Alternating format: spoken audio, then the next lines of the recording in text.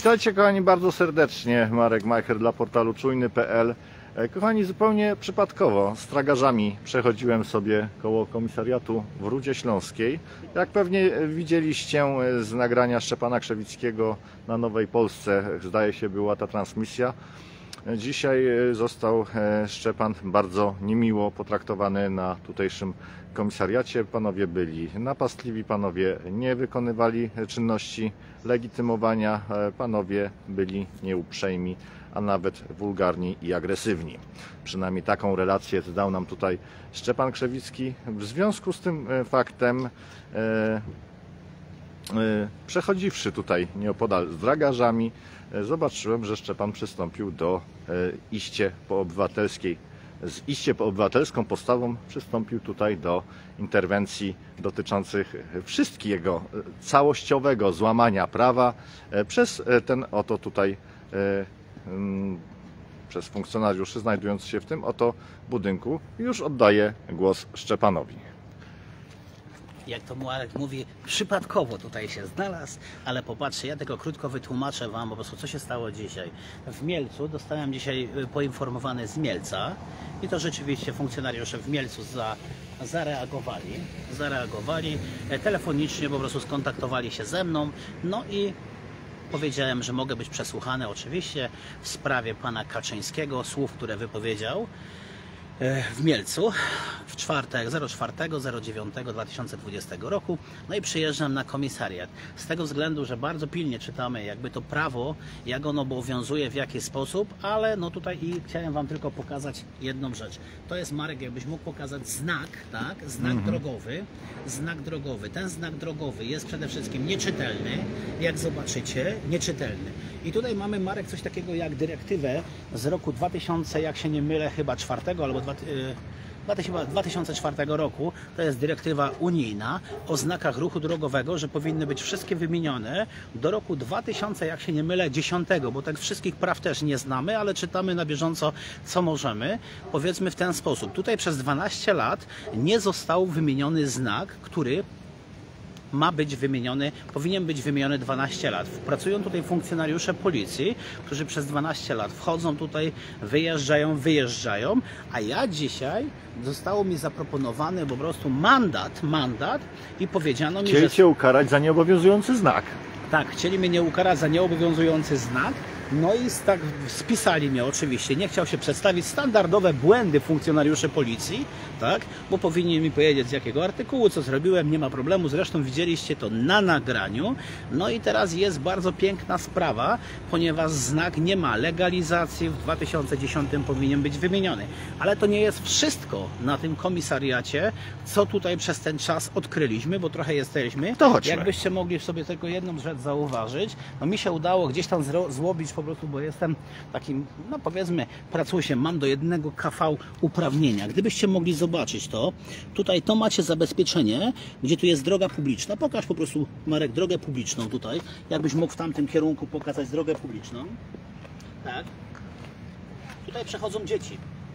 Tutaj przechodzą dzieci, drodzy Państwo. Tu pada I- deszcz. tu pada deszcz. Y, To jest udokumentowane. Następną rzeczą, już nie chcę mówić po prostu, zabezpieczenie tą miotłą i tą taśmą. W- Z czego to wynika? Wynika to z biedy w policji, z biedy, bo inaczej tego nie można powiedzieć. E, To jest tak zwana bieda, no ale popatrzmy się dalej. Skoro tam, Marek, jakbyś mógł wskazać, jest znak zakazu. Tak, jest znak zakazu, tak. Wprawdzie niezgodny z normami żadnymi, czyli nie obowiązuje, Co ale tutaj, co tutaj jest? Zapytaliśmy panią komendant, czy pracują tutaj osoby niepełnosprawne. Pani komendant oświadczyła, że nie pracują tutaj e, osoby niepełnosprawne. Skoro tam jest zakaz, zakaz, to popatrzcie się na ten znak tutaj. Zgodny z normami już. No, też bym się sprzeczał z tego względu, że nie wiem kiedy on był wymieniany. Ten znak, ten znak, ale jak popro, poproszę Cię tutaj, Aha. poproszę Cię tutaj. Jeżeli popatrzycie z tyłu, to tutaj macie w 2014 roku, macie jaka firma, jaki rok, do kiedy tu jest po prostu. To jest wszystko opisane, że ten znak jest zgodny z prawem, tak? Ten Aha. znak jest zgodny z prawem, ale tamten, Tamten? znak już nie jest Marku zgodny z prawem. To jeszcze jest nie wszystko. Chciałbym Ci jeszcze również wskazać, że tutaj mamy coś takiego jak O, zabez- stan katastrofy budowlanej stan widzę. katastrofy budowlanej, który po prostu tutaj mamy. I Marku, jakbyś mógł pokazać schody, tak? One są i tak dużo lepsze. One i tak są dużo lepsze. Marek, i teraz jakbyś mógł taki najazd zrobić z całej strony. Jest to, jest to taśmą niebieską. Popatrzcie się, Marek, czy ty będziesz widział wychodząc z zewnątrz tą taśmę niebieską? Jak No. uważasz? Będzie ciężko, będzie ciężko. Jest odgrodzone, ale z drugiej strony. Natomiast od tej strony nie jest e, miejsce niebezpieczne, które jest tutaj wybudowane celem komunikacji ty z tym budynkiem. Więc e, ta taśma powinna iść jeszcze tędy, a nawet tamtędy, bo tutaj też jest nieźle. E, I dotąd, no i tam. Ja Wam tylko powiem, to nie jest katastrofa budowlana. Katastrofą budowlaną to są Katowice, Ląpy, Komenda Główna, gdzie, przesuń się troszkę, gdzie funkcjonariusze policji, gdzie funkcjonariusze policji pracują w katastroficznych warunkach, proszę Państwa. To nie jest tak, że policja nam jest niepotrzebna. Policja nam jest bardzo potrzebna, ale powinna być na poziomie. Dlaczego jest to zgłoszenie? Zgłoszenie jest takie, że wjechałem sobie tutaj tym samochodem, Marku, Aha. tym samym schodem sobie wjechałem i panowie funkcjonariusze, gdzie prosiłem e, w środku. Są panowie funkcjonariusze. Tak. Ponieważ przyjechała drogówka, słuchajcie, na tą okoliczność. Zaraz Szczepan wam powie. Proszę bardzo, panowie już pracują i Tak.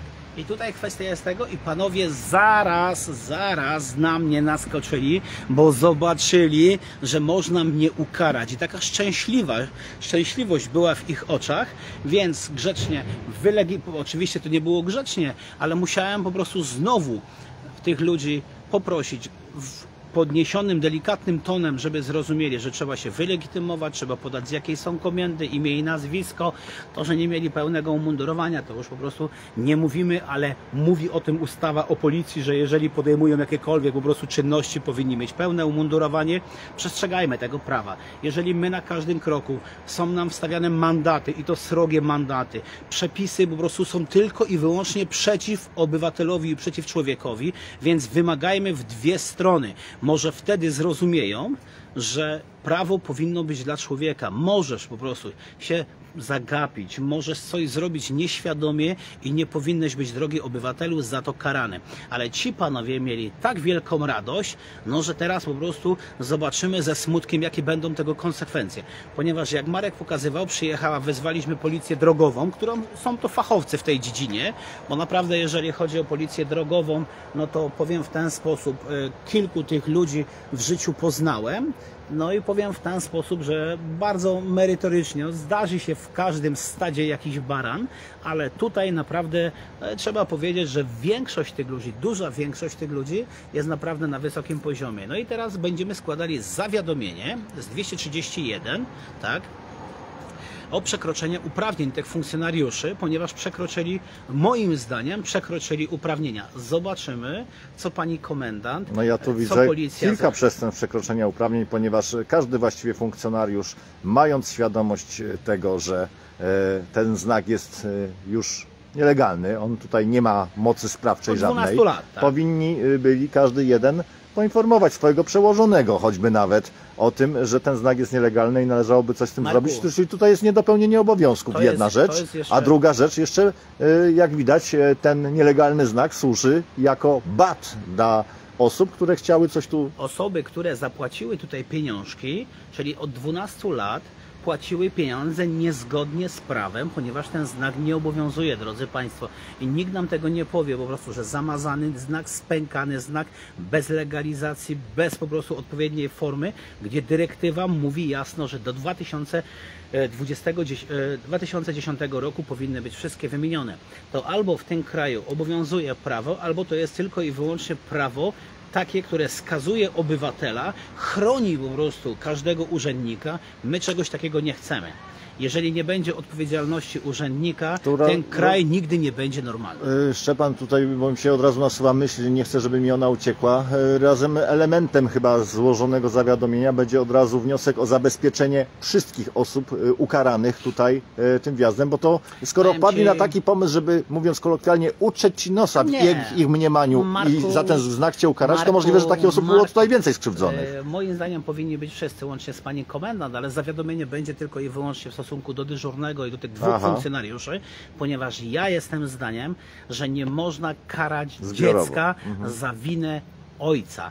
Ja wiem, że ci ludzie mają tutaj może dużo pracy. E, powiedzmy, jestem, byłem tu gdzieś mieszkańcem, bo pomalutku... Chodzi o dwóch funkcjonariuszy, którzy po Trzech, prostu się łącznie, trzech, tak? łącznie z dyżurnym, bo dyżurny po prostu odpowiada za to i te osoby, na te osoby będziemy składać zawiadomienie, bo to dyżurny powiedział, że złamałem przepis, Aha. a ci dwaj wyskoczyli z uśmiechem na mnie i próbowali mnie.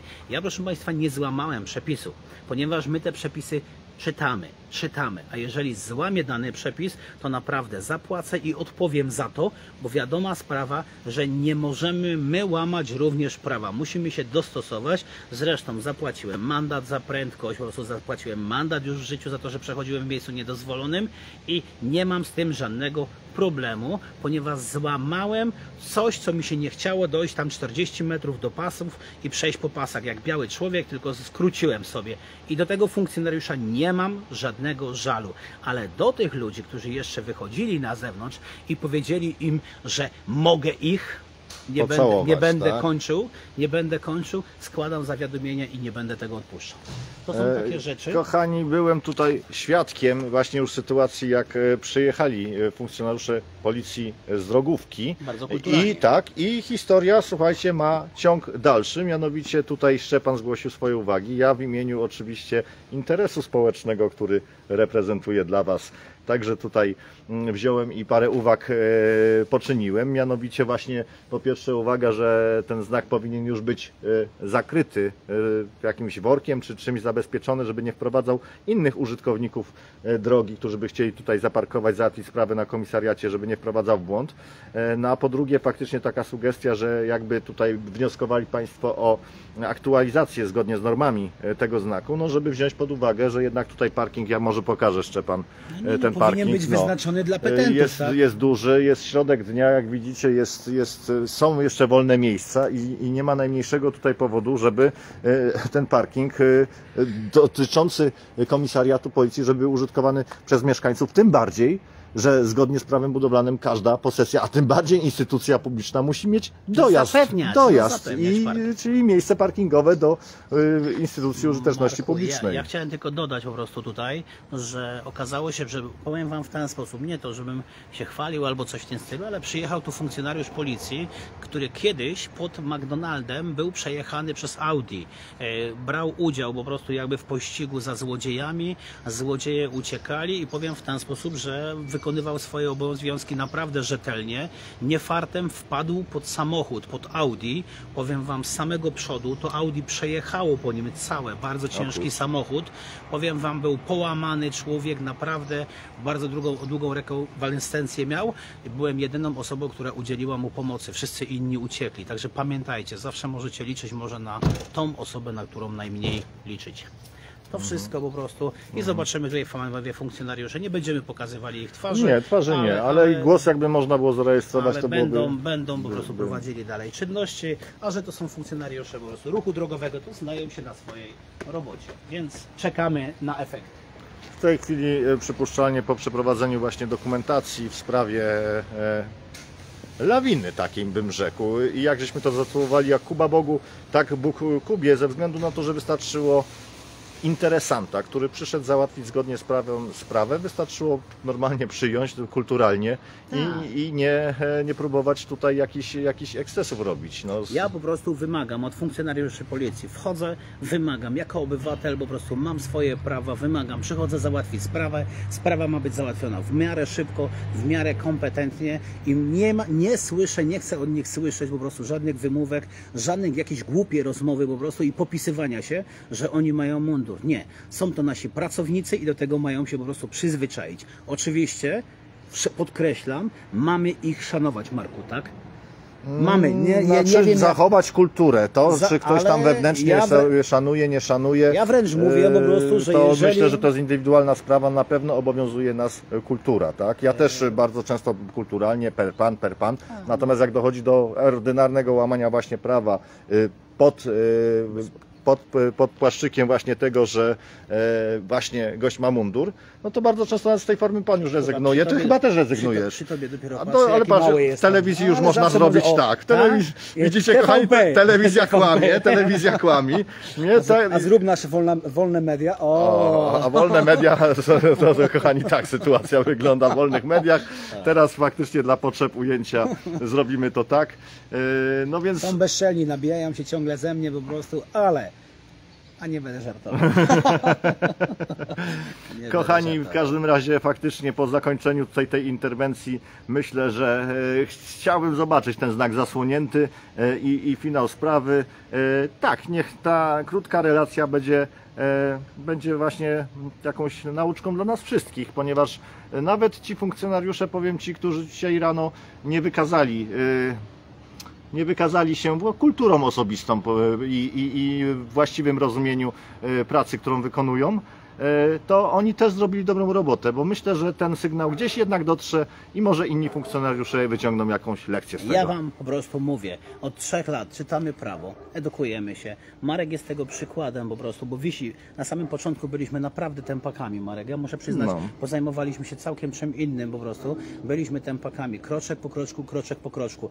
Mniemam, że w szkołach zamiast religii powinna być podstawy prawne dla każdego Oczywiście. dziecka. I przedsiębiorczości. Wam, I przedsiębiorczości, powiem Wam, i ten Polska bardzo szybko. Oczywiście, nie mam nic do religii, niech ona sobie będzie, kto chce, naturalnie, żeby ktoś nie powiedział, że mam coś przeciwko religii, ale nasze dzieciaki powinny być po prostu edukowane w stosunku do prawa, do przedsiębiorczości i wtedy mamy sukces. Na dzień dzisiejszy brak odpowiedzialności urzędników, brak edukacji, brak służby zdrowia, Ruda Śląska, popatrzcie Marek, taki przykład. Jesteśmy w Rudzie Śląskiej, Mhm. gdzie jak popatrzysz po prostu, że jest 12 milionów zadłużenia ma szpital.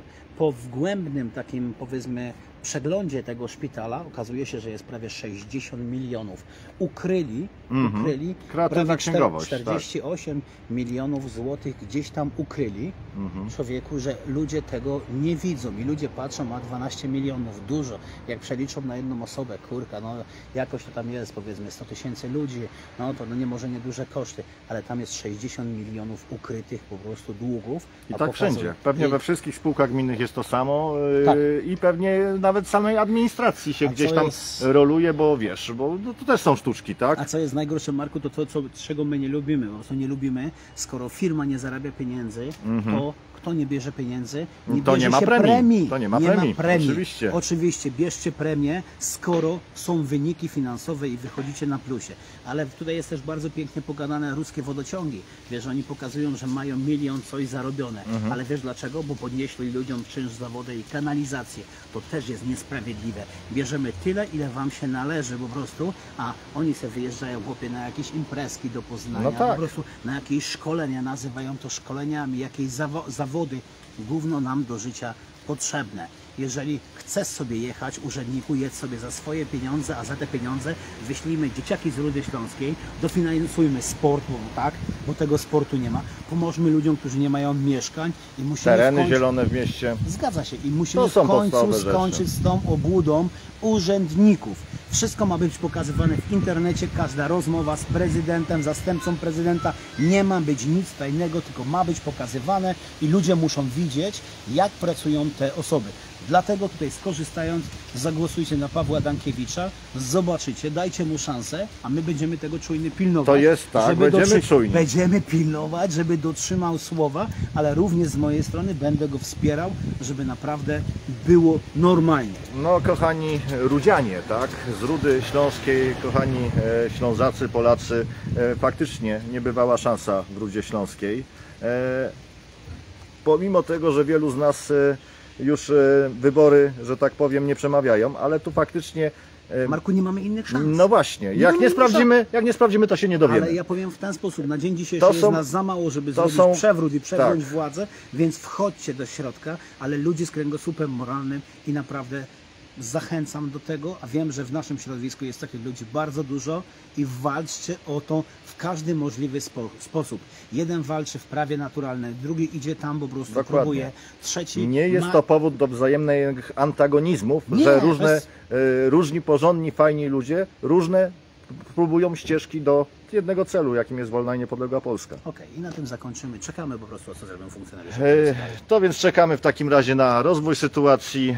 E, Panowie z drogówki po przeprowadzeniu tutaj e, dowodów e, weszli na komisariat, jak widzieliśmy. E, Sprawa, można powiedzieć, e, kuli śniegowej, e, w sytuacji, w której No jeszcze nie byliśmy, wiesz, no, to, e, w każdym razie, ja już może skończę, e, sprawa kuli śniegowej, czyli nie po- potraktowanie niezgodnie z prawem petenta w godzinach porannych e, i próba wyzłośliwienia się w, w próbie wystawienia mandatu. Ten ma- mandat został wystawiony? Nie, sądu. A wniosek do sądu został złośliwie wystawiony. Nawet nie zapytali Natomiast. mnie, Marku, oni Aha, nawet mnie nie zapytali. Przejdę do ciebie. no. Przejdę do ciebie. Oni nawet Marko mnie nie zapytali, po prostu czy przyjmuję mandat, tylko zaraz powiedzieli, że, że kierują sprawę do sądu. Ich obowiązkiem jest a zapytać, czy przyjmuję mandat, a dopiero po prostu, że sprawę kierują do sądu. Ale Seria. to, to, co oni robią po prostu z ludźmi, to jest nie do opowiedzenia. My się na to nie zgadzamy. Więc kochani e, Rudzianie, e, jak widzicie już kolejne pozytywne efekty, niewykluczone, że ta interwencja e, dziennikarsko-społeczna, Tak, że ją tak nazwać, tak? za To jest pieniędzy nie bierzemy. Spo, dziennikarsko-społeczna, kochani, zaowocuje tym, że jeżeli faktycznie system Was będzie wzywał do tego budynku z powodów ważnych lub mniej ważnych lub w sposób nieuprawniony, co też się bardzo często zgadza, to jest szansa, że po dzisiejszej interwencji ten oto nielegalny znak zakazu wjazdu zostanie zlikwidowany. E, machina biurokratyczna ruszy w sprawie ukarania tutaj sprawców y, przekroczenia uprawnień, niedopełnienia obowiązków być może y, i zobaczymy, czy faktycznie tutaj sugestia, której jednak ten teren powinien być y, przeznaczony także i dla interesantów tej firmy. Zresztą prawo budowlane mówi, że każda posesja, a tym bardziej urząd publiczny musi mieć dojazd, musi mieć wyznaczone miejsca parkingowe, więc niewykluczone, że tutaj na takim podstawowym odcinku prawa zostanie ono w jakiś sposób e, zrealizowane. Pamiętajcie kochani, na razie wchodźcie bokiem, ostrzegam tutaj, nie próbujcie wchodzić na wprost, ponieważ grozi to e, niebezpieczeństwem upadku ze względu na to, że schody są mocno zniszczone i w nienależyty sposób wciąż zabezpieczone. Natomiast jak Kuba Bogu, tak Bóg Kubie, tak żeśmy ten e, odcinek i nasze spontaniczne ze Szczepanem spotkanie nazwali dla portalu czujny.pl poprzez kanał Czujny24 Szczepan Krzewicki, i Marek Majcher. Do zobaczenia kochani.